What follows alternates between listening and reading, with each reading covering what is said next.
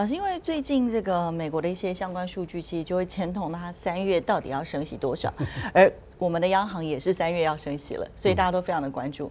可是我们看一些相关的数据，就是不管是它的零售销售，然后看起来消费力道好像还是蛮强的。那 PPI 就是他们生产者物价指数，感觉是没有没有办法降，还是往上升，所以感觉通膨压力又还蛮大的。那就业率的部分，失业率又再更一进进一步往下降，所以老师可以帮我们从一些图表分析一下，就是美国在未来，也就是三月，它可能升息的幅度和走势。好，先看老师，这是他们的呃零售零售销售部分，其实就是他们的消费力道嘛。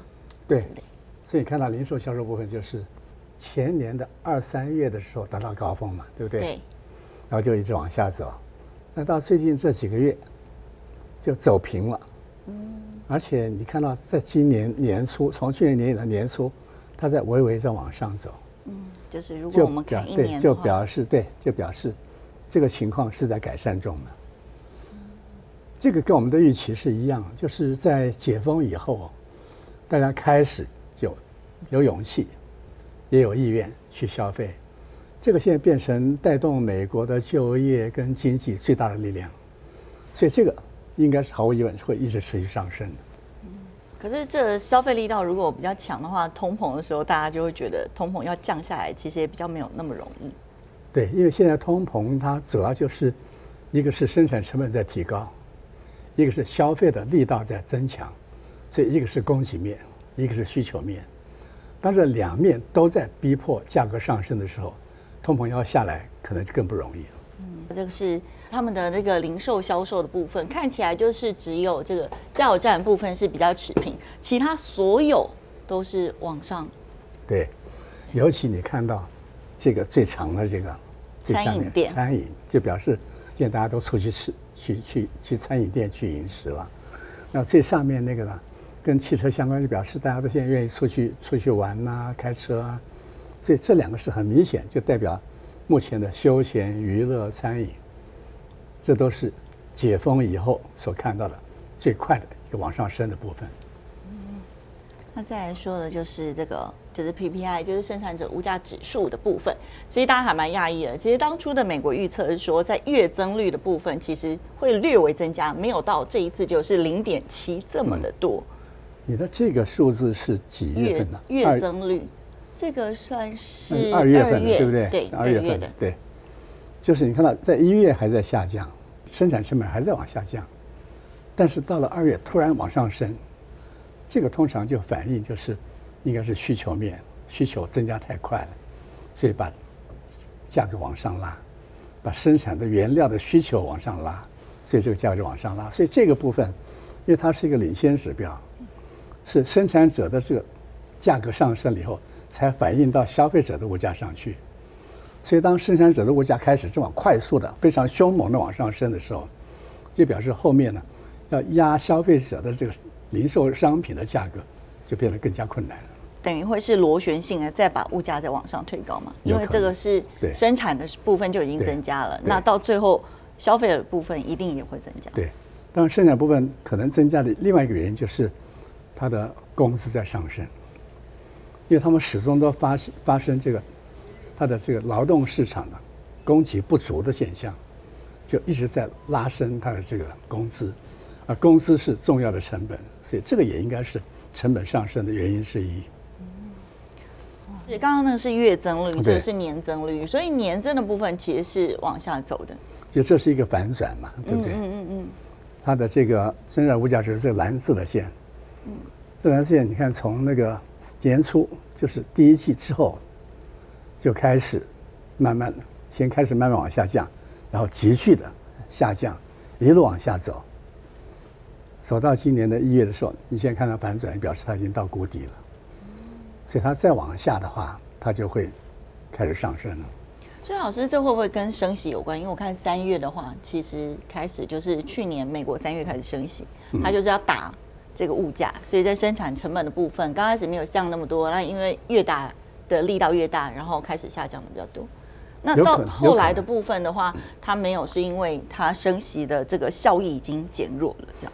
呃，对，应该这样可以这样说了，就是它升息它的那种啊感受，会随着它的这个时间慢慢就就缓和下来。所以现在它虽然还在升息，但是升息的幅度已经降低了。大家对未来升息预期好像也觉得预期将来可能会停止升息了，这些都有可能影响到它的这个生产者物价。所以老师，那看我们未来看，例如说我们实际消费端物价会往上走，还是会往下的话，其实要看月增率的影响会比较直接嘛？就是上一个。其实你看这个趋势是比较要紧的哦。不论它是月增年增，这个趋势，你看它这个趋势很难说在一个月里面就发生大的改变，对不对？对。它除非是到，比如说像这个，在十月的时候到谷底，这是黄金期货啊，开始一路往上升。而那个呢，是在三四月时候达到高峰，然后就开始往下降。所以，当它这个趋势确定之后，它那个月的这个变化是已经是微不足道了。真正要看是它整个这个大趋势的走向。可是从这个大趋势的走向，它到一月的时候是往下，因为二月数据还没有出来。嗯。那所以我们的物价到底会怎么样走吗？其实我们刚不是已经看它的这个现在的物价指数已经往上跳升了。对，二月是往上跳升。往上跳升了，对啊，就表示它应该是一个转折点到了。嗯，所以这可能是到低点之后，现在要开始往上走。有可能。所以如果到三月的时候，可能就更确定了。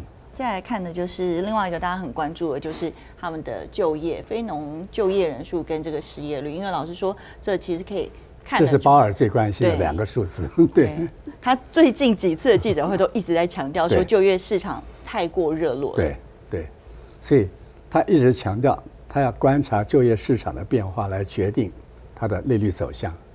结果你现在看到就是这个一月份这个简直是大出所有的人意料之外。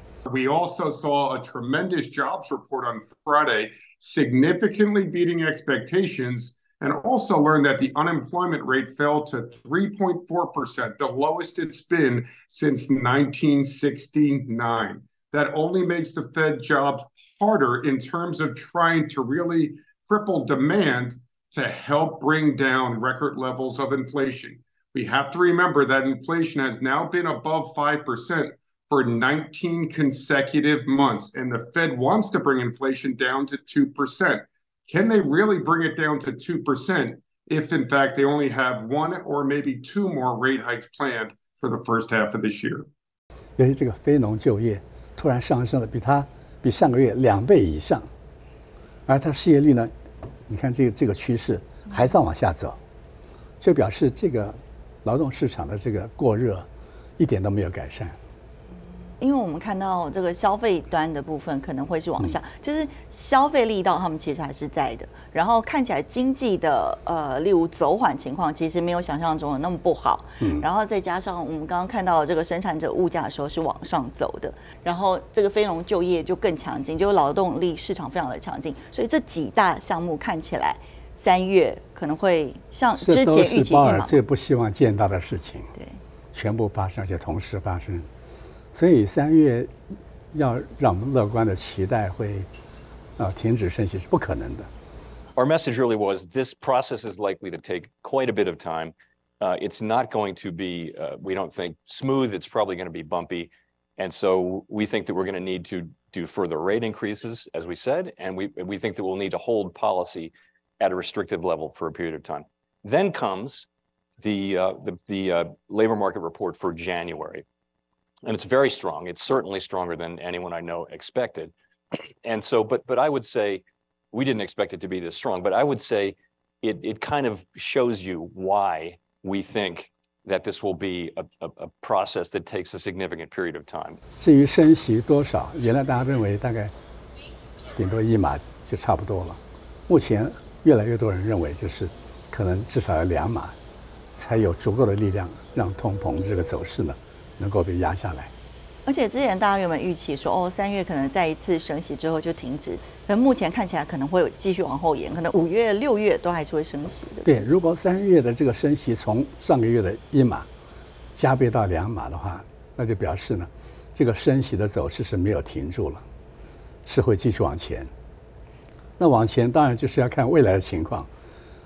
不过我的我的观察就是，如果这个趋势都在这个地方反转的话，那就表示呢，可能未来情况会更不理想。应该说更理想，因为我们现在说就是 情况会更好，就是就业会更高，失业会更低，然后呢，消费也会增加更快。如果是那样的话呢，它就会让通膨更难控制。所以，如果这个形势已经到了这个地步的话，那鲍尔真的会陷入一个非常困难的一个抉择，就是他到底是不是要继续啊用同样的方式来压制通膨？如果他发现是目前这样的升息，所谓暴力升息还不足以压制通膨的话，你想他下一步会怎么做呢？继续还是让暴力升息？更加暴力。所以目前看起来就是三月还会继续升息，而且有可能幅度会加大。那呃，因为大家可以看得出来说，这个美国的经济成长率其实并没有因为这么快速的升息而整个变成负数，变得这么的糟糕。所以代表说它的软着陆的几率其实是还蛮确定的嘛？大家都认为就是现在可能不着陆了，嗯，所以它根本不衰退了。目前看这情况好像也如如此，就是。以这个趋势来看的话，美国经济要衰退真的不容易了，所以美国经济可能根本就不衰退了。再加上我们一直强调，从上次到现在一直强调，就是中国大陆现在在这个解除清零之后，它的经济开始反转，那个反转其实是会溢出国外，对全球经济造成影响。那那个影响也必定会影响到原材料的价格、原材料供给、对劳动的需求。所以那个可能会使得这个往上扬的这个力量呢更为加强。好像三月部分，如果它真的升息两码的话，那我们有可能不升息吗？我们原本一直认为说有可能我们就先停了，可是看起来可能变数会更多。其实央行一直觉得，就是我们的通膨虽然到百分之三以上了，应该还是相对比较温和，而且他一直在观察，就是。到底这个利差扩大以后，资金的外流情况如何？目前看起来好像就股市的表现来看，好像并没有资金外流的那么严重，甚至资金开始回流了。所以，如果他不担心资金外流的话，他会比较关切就是目前的房地产市场承受的压力有多大？因为我们刚好通过了平均地权条例，这个已经是对房地产市场最大的一次打击了。这个打击之下呢，房地产市场可能是快速快速降温。如果那样的话，他可能会非常的忧虑。如果再升息，会让这个购物者的意愿更为降低，可能这个打击会变成啊更难以承受。所以我想那个时候，也许他会考虑这些因素呢，会不再升息了。我们在收听摄影棚全天候都是用水神，空间比较大，可以使用的是这组，是大概是八平左右。那么如果说空间比较小，两到三平左右，或在车上，可以看到这是一个比较迷你的水神雾化器，在车上用也是非常的方便，可以来到快点购来买送水神，一举两得。